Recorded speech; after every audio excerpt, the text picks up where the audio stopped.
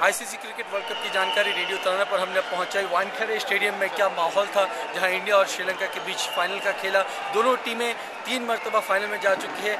एक एक बार जीती है, लेकिन आज इंडिया ने साबित करके दिखाया कि वो श्रीलंका से बेहतर टीम है। और ख़ासतौर पर जबकि श्रीलंका ने पहले बैट करते हुए 274 रन बनाए। इंडिया को 275 करना था। इंडिया ने दो विकेट गंवाई, लेकिन कहीं आत्मबल आत्मबल जो बोलते हैं कि जो पोजीशनिंग है गंभीर की साथ ही में विराट कोहली की, महेंद्र सिंह धोनी की और युवराज की, वो नहीं डगमगाई और एकदम कॉन्फिडेंटली वो खेलते रहे कि उनको विश्वास था कि वो कहीं ना कहीं मैच को ज़रूर जीत सकते हैं और वही हुआ। और यहाँ पर आप देख सकते हैं कि किस कदर लोग अभी भी खड़े हुए हैं और यहाँ पर जो आतिशबाजी हुई थी आकाश में तकरीबन सेवन टू टेन मिनट्स हुई और पूरी टीम ने दो चक्कर लगाए ग्राउंड के और वानखड़े स्टेडियम का ये जो माहौल है और भी रंगीन हो गया है और आज देश भर में ये सेलिब्रेशन um, हो रही है और होती रहेगी। और हमने सीधे अपने मीडिया बॉक्स जो uh, यहाँ ऊपर पीछे है, वहाँ पर हम बैठे हुए थे। वहाँ से uh, दो सौ, तीन सौ मीडिया कर्मी थे। वहाँ से हमने ये आँखों देखा हाल, सब तो uh, सबको पहुँचाया और इसी तरह हम पहुँचाते रहेंगे।